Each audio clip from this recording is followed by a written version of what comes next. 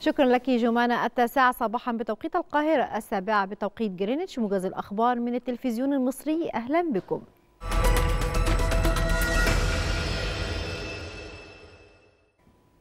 أعرب الرئيس السيسي عن شكره وامتنانه لروح الشهيد مؤكدا العزم على استكمال مسيرة العطاء والتضحية من أجل الحفاظ على مجد الوطن وعزته. جاء ذلك خلال اجتماع الرئيس السيسي مع قادة القوات المسلحة عقب أداء صلاة الجمعة في مسجد المشير طنطاوي بمناسبة يوم الشهيد.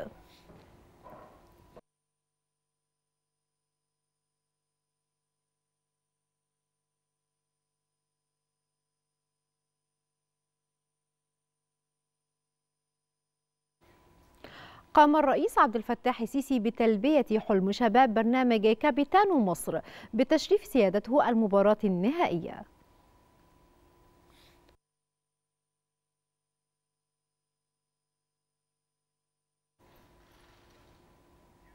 كما بعث الرئيس عبد الفتاح السيسي برقية تهنئة للرئيس الصيني تشي جين بينغ لتهنئته بمناسبة إعادة انتخابه رئيسا لجمهورية الصين الشعبية لفترة جديدة.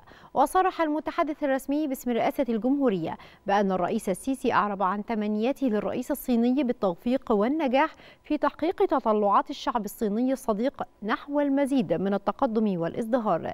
كما أشاد الرئيس السيسي بعلاقات الصداقة التاريخية الوطيدة التي تجمع بين مصر والصين الصين معربا عن تطلعي إلى استمرار العمل المشترك والتنسيق بين البلدين في جو من الثقة والتفاهم المتبادل.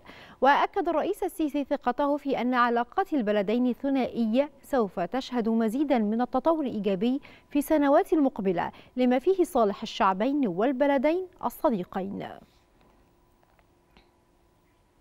أدى لي تشانجينغ اليمين الدستورية رئيسا جديدا لوزراء الصين خلال اجتماع السنوي للبرلمان وحصل تشايجينغ على تأييد 2936 صوتا مقابل معارضة ثلاثة أصوات وامتناع ثمانية عن التصويت.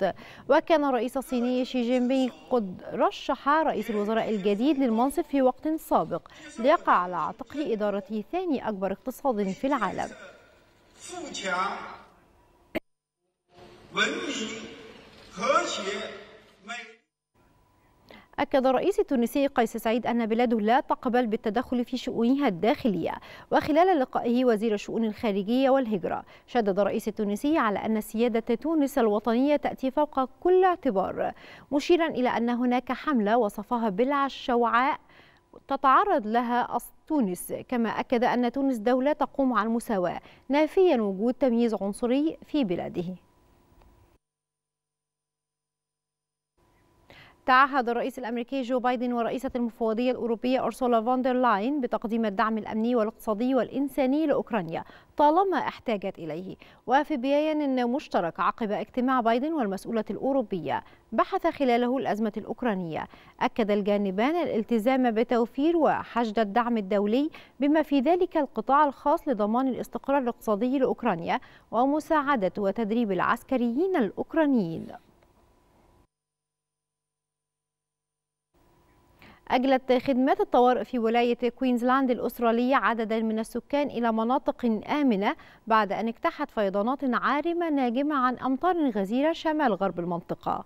وقالت الشرطة إنه تم إجلاء 53 من سكان إحدى البلدات منذ أن تسببت الأمطار الغزيرة في حدوث فيضانات الأسبوع الماضي وظل نحو 100 من السكان في البلدة وتستعد الشرطة لإجلاء المزيد من الأشخاص حيث تتوقع خبراء الأرصاد أن تبلغ مستويات الأنهار في المنطقة ذروتها الأحد.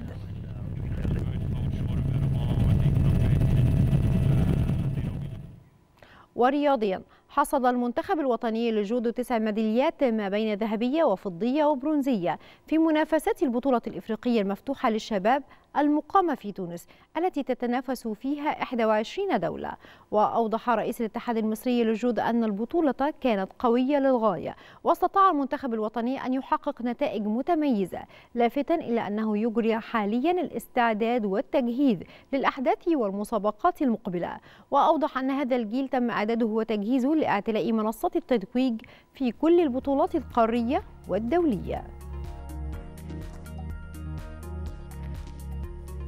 ختام موجز التاسعة فاصل ونعود لحضراتكم باستكمال باقي فقرات صباح الخير يا مصر.